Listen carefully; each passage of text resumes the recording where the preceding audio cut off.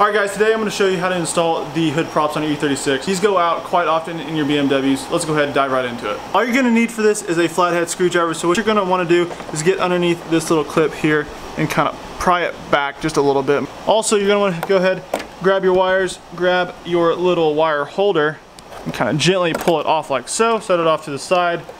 Once you get under it, kind of pry it back. You can go on the back side, give it a couple good hits, should come off, and do the same thing to the bottom she goes.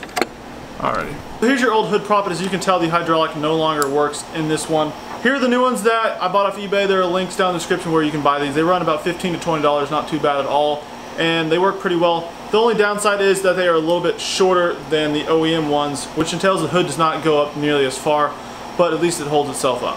Diction. I didn't make it, that was the wrong trash can. For the reinstall, all you're going to do is go ahead and slide it over the little peg. Get, make sure it gets all the way in there. You might want to take your screwdriver and kind of lift it up just a touch, like so. And then you're going to take your screwdriver, drive it in there and kind of hit it. A couple few good hits.